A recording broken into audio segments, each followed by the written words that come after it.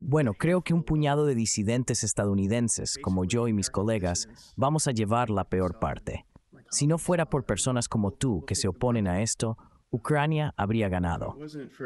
Creo que aquellos que se han opuesto a la política estadounidense hacia Rusia y Ucrania durante los últimos 10 años serán los chivos expiatorios principales de esto. Sin embargo, no somos nosotros quienes mentimos de forma reiterada sobre lo que estaba sucediendo allí. we're not the ones who serially lied about what was going on over there.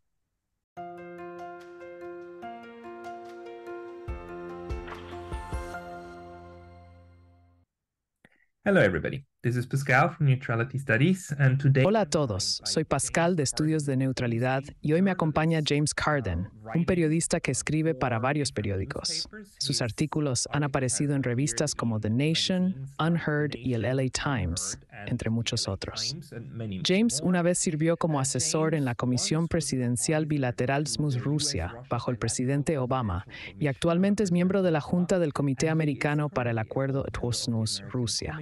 James recientemente escribió un artículo perspicaz titulado La próxima batalla por quién perdió Ucrania, en el cual argumenta que las mismas personas que contribuyeron a la guerra de Ucrania se esforzarán al máximo para justificar por qué perderla sería culpa de aquellos de nosotros que nos opusimos a esta guerra por delegación desde el principio. James, muchas gracias por conectarte en línea. James, thank you very much for coming online. Oh, Gracias por recibirme. James, este es un artículo fantástico que escribiste. Permíteme citarte por un segundo aquí. Escribiste que los medios corporativos y sus muchos aliados progresistas y liberales en el Congreso, con gran entusiasmo, unirán fuerzas con sus amigos neoconservadores para atribuir culpas y restringir aún más el rango del discurso aceptable. ¿Podrías explicar qué quieres decir con eso? ¿Cómo llegaste a este análisis? How do you get to this to this analysis? Well, unfortunately, that's what's been happening. Lamentablemente, eso es lo que ha estado sucediendo desde las elecciones de 2016. Vimos indicios de ello antes, alrededor de 2014, cuando la crisis de Ucrania realmente comenzó en serio. Puedes ver más o menos lo que estaba pasando, y Glenn Greenwald ha escrito mucho sobre esto. La crisis de Rusia y las acusaciones de que Rusia robó la elección para Donald Trump permitieron a los neoconservadores, que quedaron bastante desacreditados después de Irak, lavar sus reputaciones. Se convirtieron en voceros muy firmes contra Rusia. Liberales decepcionados, partidarios de Hillary Clinton y otros que ya eran algo beligerantes en política exterior, se unieron todos. Lo que hemos visto en los últimos años es una migración de los neoconservadores del Partido Republicano al Partido Demócrata. Un buen ejemplo de esto, un ejemplo famoso en Washington, es Robert Kagan, un escritor neoconservador bien conocido. No lo llamaré un pensador, pero quizás un publicista. Encabezó una recaudación de fondos para Hillary Clinton en 2016. Eso fue una señal para todos de que estos individuos estaban regresando a su partido de origen. in 2016. That El movimiento neoconservador comenzó a finales de los años 60 y muchos de ellos eran de hecho demócratas que se convirtieron en defensores y discípulos de Ronald Reagan debido a su línea dura contra la Unión Soviética. Así que, en cierto sentido, todo ha vuelto al punto de partida, pero realmente fue el no escándalo de Russiagate lo que los volvió a unir. Non-scandal that um, kind of brought them back together. Esto es realmente importante. El no escándalo gira en torno al hecho de que durante casi cinco años, Washington estuvo consumido por el Russiagate y la supuesta colusión entre Donald Trump y los rusos. Comentaristas como Glenn Greenwald y Jimmy Dore, que han analizado esto extensamente, sugieren que fue una reacción instintiva de los demócratas. No podían aceptar la realidad de que perdieron ante un presentador de concursos. Jimmy Dore enfatiza que los demócratas eran tan impopulares que Donald Trump pudo ganar las elecciones. Esto vincula el asunto de Rusia con la política doméstica de Estados Unidos. ¿Compartes esta visión o la ves de manera diferente? Do you share that view, or do you see it differently? Well, no, I mean, I had the view that view certainly before Jimmy Dore. Yeah, Sin duda, yo tenía esa opinión antes que Jimmy Dore. Creo que la manera correcta de ver la participación de Rusia en la campaña de 2016 es reconocer que sus servicios de inteligencia intentaron influir en la campaña a través de las redes sociales, utilizando memes en Twitter y Facebook. Es indiscutible. Sin embargo, sus esfuerzos fueron extremadamente ineficaces y algunos rayaban en lo ridículo. Mi ex colega de The Nation, Aaron Mate, ha hecho el mejor trabajo sobre el Russiagate. También es importante señalar que estos esfuerzos están en línea con los de otros gobiernos extranjeros que intentan influir en las campañas estadounidenses. Por ejemplo, los chinos intentan influir en la política estadounidense, pero no se compara con lo que hacen los israelíes. Benjamin Netanyahu prácticamente respaldó a Mitt Romney en 2012. Sí, parte del aparato de inteligencia ruso intentó influir en la elección. ¿Pero hizo alguna diferencia? No. ¿Estaba Donald Trump coludido con el gobierno ruso? No. El fiscal especial declaró que no había evidencia de colusión entre Trump y la campaña rusa. Aquellos de nosotros que entendemos a Rusia y a Trump sabíamos que no había manera. Incluso durante sus cuatro años de presidencia, luchó por influir en el gobierno estadounidense debido a su incompetencia. No habría sido capaz de coludir con el gobierno ruso. La acusación de que la campaña de Trump estaba en contubernio con los rusos y le robó la elección a Hillary Clinton fue tonta y sin fundamento. Como resultó, todo esto fue parte de una campaña de trucos sucios por parte de los Clinton.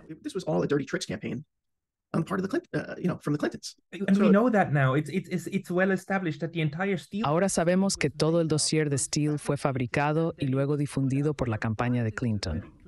Esto es un hecho comprobado. Sin embargo, parece que a nadie le importa. Los neoconservadores y los demócratas continúan culpando a los rusos y a Donald Trump por todo lo que sucedió. Mantienen viva esta narrativa. Mientras tanto, los medios de comunicación liberales dominantes están bastante contentos de perpetuarla, utilizando a los rusos como chivo expiatorio conveniente para todo. That's exactly right. Um, eso es exactamente correcto. Todo el asunto fue absolutamente vergonzoso. Esto no es para defender a Rusia o a Donald Trump. Yo no voté por Donald Trump. Tuve dos oportunidades para hacerlo y no lo hice en ninguna de las dos ocasiones. Pero lo justo es justo.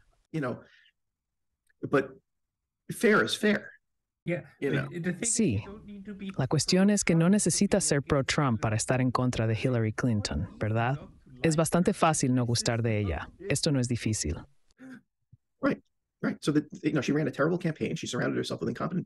Ella llevó a cabo una campaña terrible. Se rodeó de gente incompetente y no creo que haya hecho ni una sola aparición de campaña en Wisconsin. Perdió. Y en Washington, todo lo que escuchas es sobre Trump, los rusos y así sucesivamente. Esto es muy insultante para las decenas de millones de personas que votaron por Trump. Las personas que votaron por Trump no son maníacos ni despreciables, tienen quejas reales. Bill Clinton esencialmente diezmó a la clase trabajadora y media estadounidense.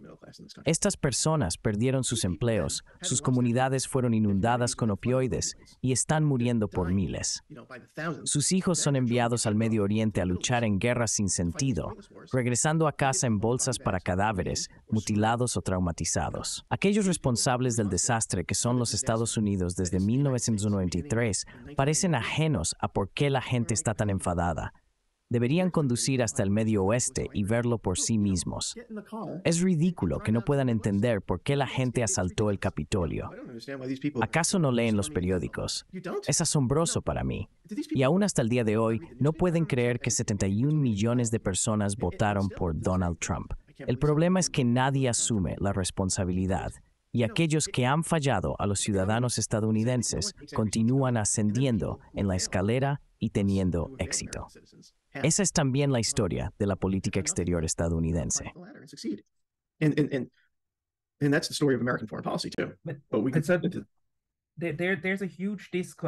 Existe una enorme desconexión entre ciertos grupos de la élite liberal y una gran parte de la clase trabajadora en Estados Unidos. Esta desconexión a menudo conduce a una visión distorsionada de la política exterior. Me gustaría compartir una anécdota con ustedes. Durante seis años enseñé en una universidad estadounidense en Japón, donde ofrecía una clase sobre política europea. En cada clase dedicaba una sesión al tema de la democracia directa, tal como se practica en Suiza.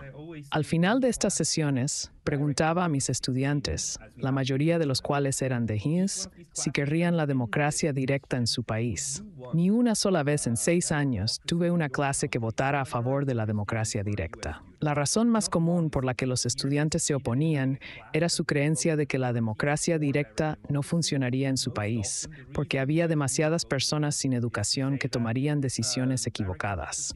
Señalarían la elección de Donald Trump como un ejemplo de tal voto equivocado. Esta idea de que solo una cierta categoría de votación es correcta y todo lo demás es un error es un defecto profundamente arraigado, creo, en los procesos de pensamiento incluso de los jóvenes individuos liberales. ¿Ve esta actitud entre otras partes de la población liberal de SNES? Oh, ciertamente. Oh, sure. Yeah. I mean, if you scratch a liberal, um, you'll, you'll... Sí, quiero decir, si rascas a un liberal, encontrarás a un autoritario debajo. Un difunto amigo mío, una persona muy sabia que lamentablemente murió durante el COVID, solía decir que el mayor problema que enfrentaba este país era lo que él denominaba totalitarismo progresista. Eso es especialmente cierto cuando se trata de temas como Donald Trump y Rusia.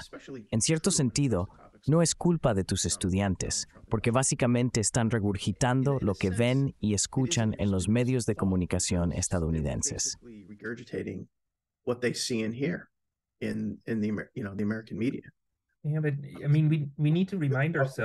Debemos recordarnos que el totalitarismo real, como el nazismo y el comunismo, no fueron movimientos de los viejos, sino de los jóvenes. Fueron los jóvenes quienes se sintieron atraídos por estas ideologías. Existe el peligro ahora de que se forme una burbuja ideológica que atraiga a las personas. Tu artículo parece abordar esto sugiriendo que incluso los liberales están empezando a darse cuenta de que la fachada de una guerra que se ganará pronto simplemente no es realista. Están comenzando a cambiar la narrativa para poner la culpa en aquellos de nosotros que desde el principio dijimos que no había que provocar a Rusia. Aconsejamos simplemente declarar que Ucrania no se uniría a la OTAN y dejarlo así, pero este consejo fue ignorado. Ahora están buscando maneras de culparnos. ¿Podrías elaborar más sobre este punto?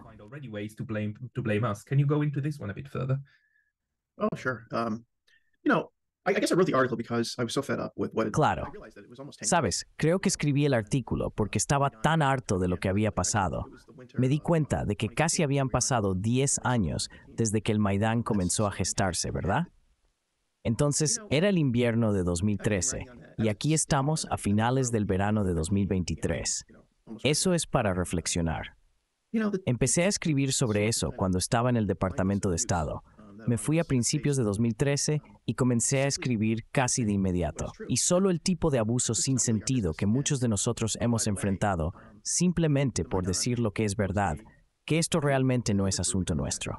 Y por cierto, el Maidán fue un golpe de Estado que derrocó a un presidente democráticamente elegido. Ahora, podría haber sido un individuo corrupto. No tengo dudas de eso, pero fue una elección legítima la que ganó. Él sí acordó términos, sostendría una elección un año después de febrero de 2014. No tenía que ser de esta manera. Pero los ideólogos en Estados Unidos y en Europa, lamentablemente, tenían mucha prisa por deshacerse de este tipo. El problema con eso es que un tercio de Ucrania se sintió alienado. Y como bien sabes, los eventos del golpe del Maidán, un golpe antidemocrático, desencadenaron una guerra civil en ese país.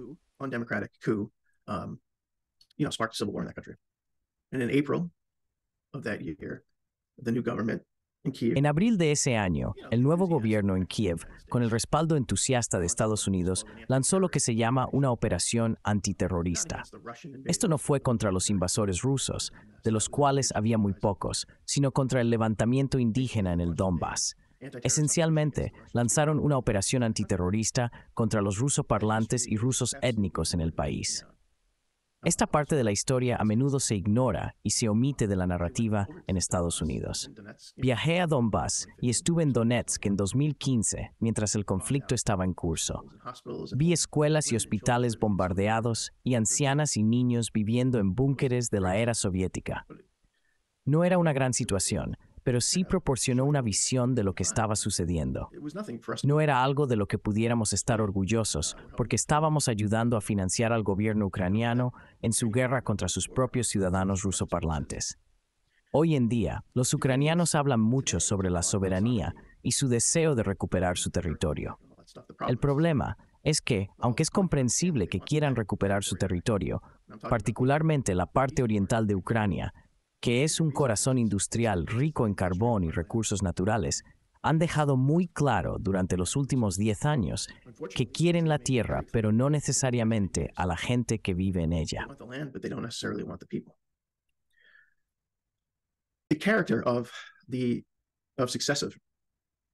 El carácter de los sucesivos gobiernos en Kiev es el de un gobierno etnonacionalista. Son los herederos directos y orgullosos de los nazis. A la gente no le gusta escuchar eso. No se permite decir eso en Washington. Estoy seguro de que alguien va a desenterrar esto y publicarlo por todo Twitter, llamándome apologista ruso o títere o lo que sea. Pero lo que es cierto es cierto. No tengo interés personal en esta lucha.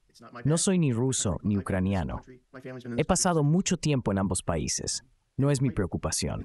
Mi familia ha estado en este país durante siglos y me resulta bastante irónico que personas que acaban de llegar a este país se sientan con derecho a atacar a alguien como yo. Serví en el Departamento de Estado. Soy un estadounidense leal. Los ataques contra mí, y ni siquiera soy famoso, soy una figura muy marginal, palidecen en comparación con los ataques que personas como mi difunto amigo y mentor, Stephen F. Cohen, han tenido que soportar. Otros como Katrina vanden Heuvel Mearsheimer, incluso mi amigo Aaron, han enfrentado problemas similares. Pero en algún momento se vuelve un poco demasiado.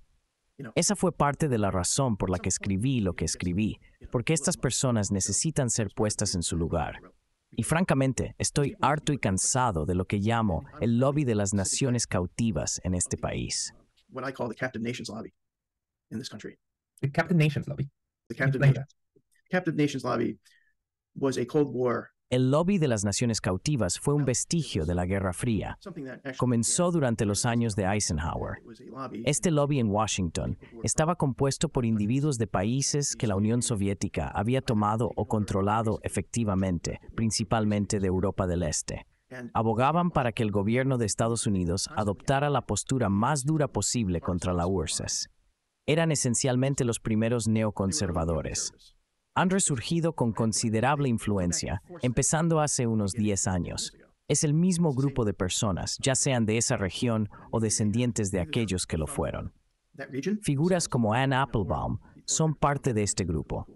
Dominan el mundo de los think tanks y los medios de comunicación, dando forma a los términos del debate. Sin embargo, como estadounidense, creo que los americanos deberían tener voz en la conducción de la política exterior de Estados Unidos. Esta visión es extremadamente impopular en Washington, pero eso es demasiado malo.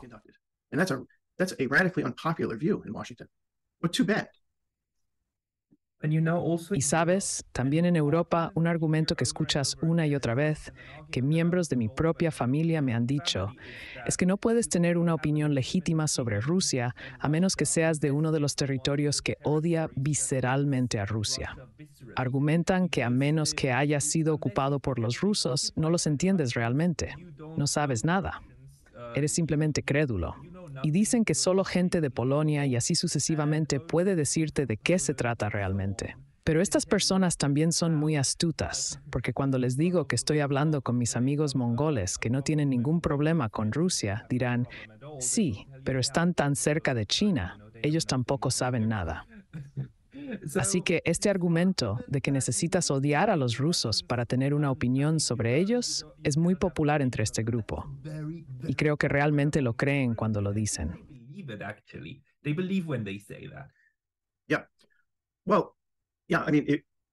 Sí, bueno, quiero decir, insisten en que hay algo muy racista en todo el asunto también. Es como si dijeran, estas personas son salvajes y nosotros entendemos cómo operan. Yo no veo las relaciones internacionales a través de ese prisma. ¿Tienen intereses legítimos o son el único país al que no se le permite tenerlos? No debería ser etiquetado como simpatizante de Putin si miras la situación y dices, puedes entender por qué no querría que Ucrania fuera parte de la OTAN. Esa no debería ser una opinión descalificadora tienen intereses legítimos de seguridad nacional en su región o no. Nosotros ciertamente los tenemos, pero sí vuelve a la visión de que los rusos de hoy todavía están pagando el precio por las fechorías de Stalin después de la guerra. Eso fue hace mucho tiempo.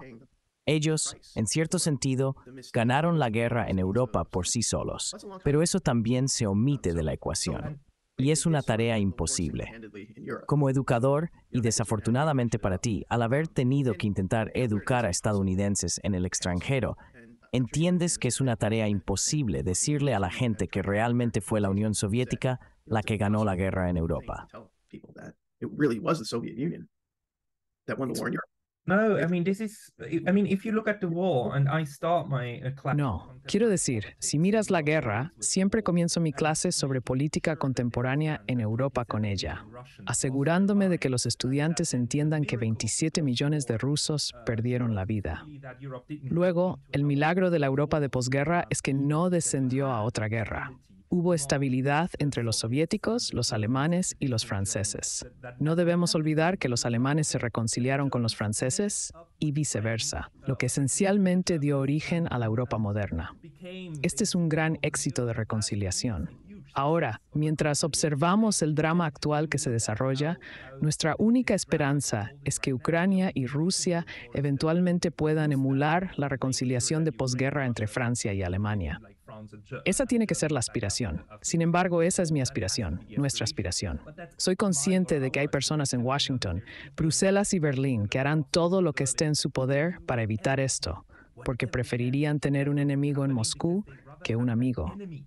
¿Cómo trabajan estas personas junto a alguien como tú? Estuviste en el Departamento de Estado, trabajando con esas mismas personas. ¿Cómo sucede eso?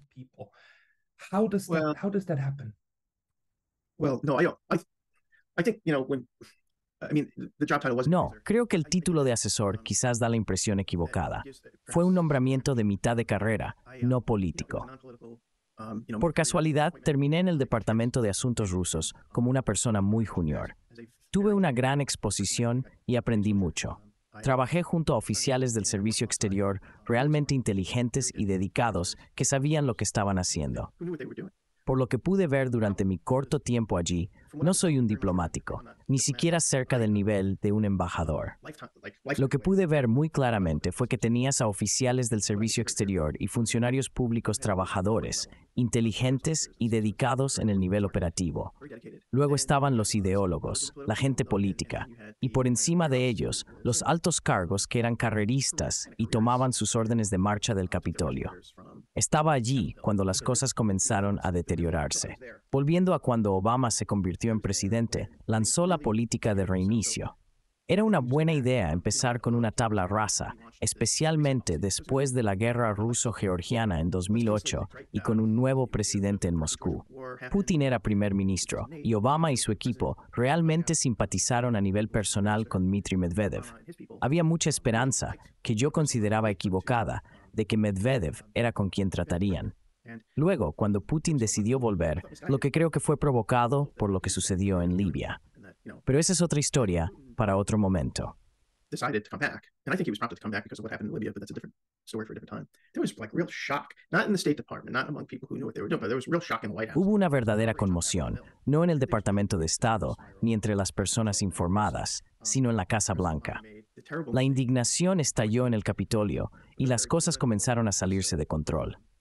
Luego, el presidente Obama cometió el grave error de nombrar a Michael McFaul, un profesor muy político, como su embajador. McFaul no es exactamente un experto en Rusia. Es más bien un promotor de la democracia y un entusiasta del cambio de régimen y de las revoluciones de colores. Al mismo tiempo, William Browder estaba haciendo lobby en el Capitolio por la ley Magnitsky. Vio una oportunidad cuando Rusia se unía a la OMC y Estados Unidos tenía que poner fin a la enmienda Jackson-Vanik, una ley de la era soviética sobre inmigración. Browder impulsó sanciones con sus aliados en el Capitolio.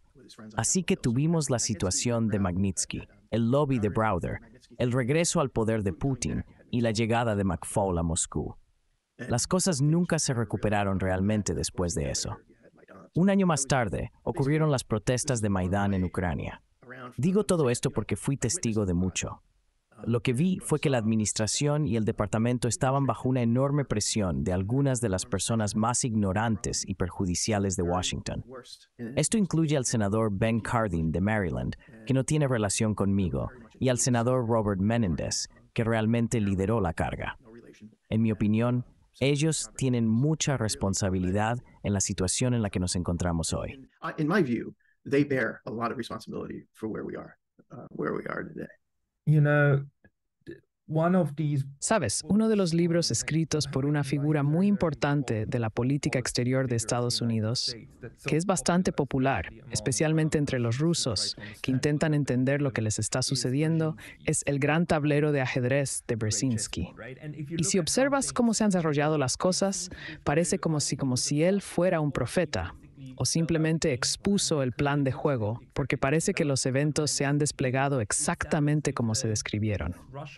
Pero cuando te escucho, suena como si las políticas de Rusia fueran el resultado de una gran cantidad de incompetencia e ignorancia, esencialmente un completo desastre del más alto orden.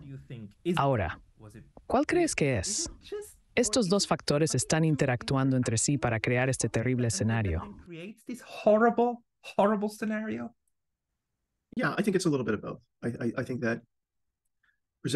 Sí, creo que es un poco de ambos. Brzezinski, que era polaco, fue nombrado por el presidente Jimmy Carter como asesor de seguridad nacional después de las elecciones de 1976, asumiendo el cargo en 1977. Creo que fue uno de los llamados hombres sabios de América, Robert Lovett, quien se quejó de que realmente no deberías tener a alguien que no sea estadounidense nombrado para tal posición. Muchos años después, escribí un artículo defendiendo a Brzezinski contra esa acusación. Tengo que decir que de todo lo que he escrito, y hasta ahora debo haber publicado alrededor de medio millón de palabras, esa defensa de Brzezinski fue probablemente la cosa más tonta que hice. Lovett tenía toda la razón. Es una combinación del equipaje que la gente trae consigo. Esto nos lleva al lobby de las naciones cautivas en Washington. Llevan todo este equipaje étnico, todos estos recuerdos. Por ejemplo, sus abuelos la pasaron mal en la franja de asentamiento y ahora quieren vengarse de los rusos.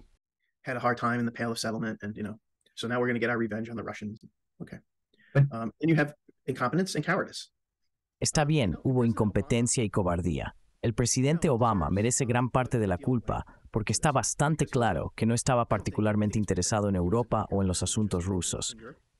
Creo que externalizó las políticas que siguió y dependió mucho de su amiga Angela Merkel para cuidar de esa parte del mundo. Los alemanes, después de todos estos años, siguen siendo seguidores estadounidenses muy ansiosos, casi sin vergüenza alguna, hasta el punto de que casi hacen que los británicos parezcan independientes. Por lo tanto, Obama no necesitaba nombrar a alguien como McFaul, que claramente era mal visto por Moscú, para ser su embajador. Tampoco necesitaba estar de acuerdo con las sanciones Magnitsky, que eran inútiles, estúpidas y siniestras. Pero tenía otras cosas en mente. Si vamos a señalar un momento en el que las cosas realmente comenzaron a salirse de control, sería durante el segundo mandato de Obama.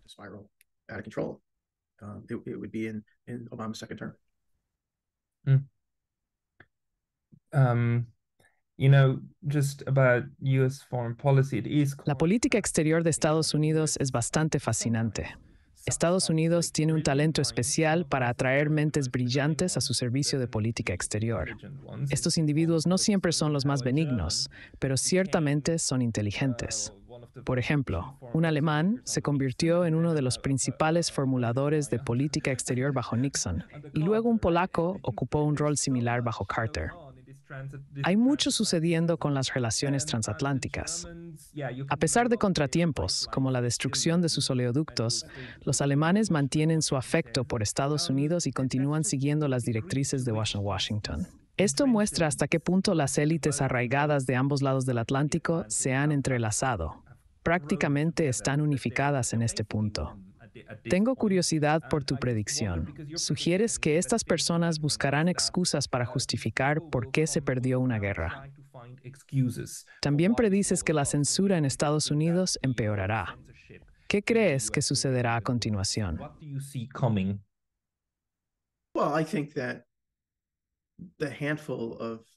Bueno, creo que un puñado de disidentes estadounidenses, como yo y mis colegas, vamos a llevar la peor parte. Si no fuera por gente como nosotros oponiéndonos a esto, Ucrania podría haber tenido éxito. Creo que aquellos que se han opuesto a la política estadounidense hacia Rusia y Ucrania durante los últimos 10 años serán los chivos expiatorios principales de esto. Pero ya sabes, nosotros no somos los que mentimos repetidamente sobre lo que estaba pasando allí. Quiero decir, nunca hubo ninguna posibilidad, ¿verdad? Ucrania nunca iba a ganar esto.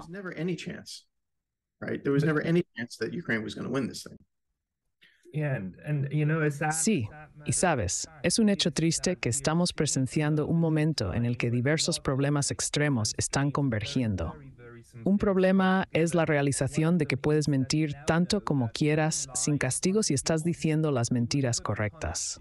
Sin embargo, si publicas documentos verídicos sobre las fechorías del gobierno de Estados Unidos, enfrentarás consecuencias severas. Incluso si eres un ciudadano australiano que publicó la información en Gran Bretaña, serás encarcelado y sufrirás indefinidamente.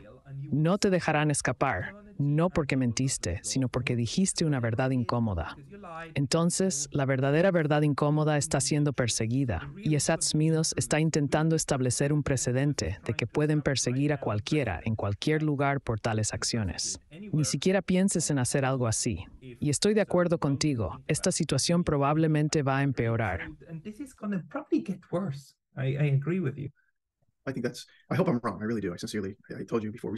Creo y espero estar equivocado. De verdad, lo espero. Te dije sinceramente antes de empezar a grabar que espero no tener razón.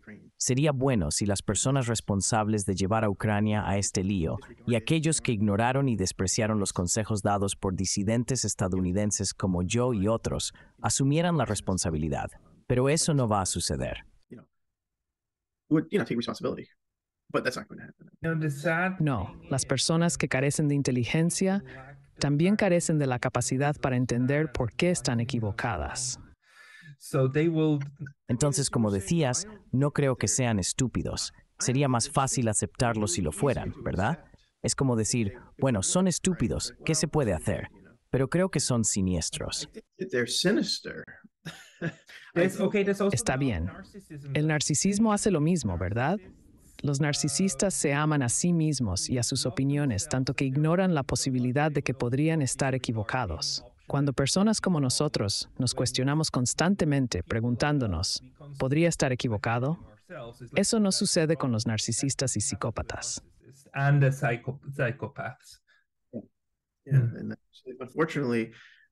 Lamentablemente, los narcisistas y psicópatas están al mando.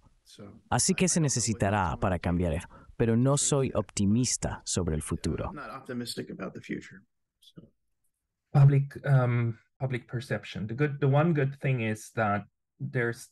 La percepción pública es clave.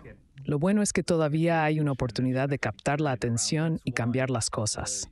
Por eso creo que el establishment, tanto en los partidos demócrata como republicano, tiene tanto miedo de que la desinformación se propague e influya en el público general de Estados Unidos para que vote incorrectamente. Esto podría poner en peligro todo su proyecto. Por eso creo que Donald Trump actualmente enfrenta tanta guerra legal. No es que me caiga bien el tipo, me desagrada mucho, pero es un externo, no es parte del llamado unipartido, y por eso se le ve como una amenaza tan grande.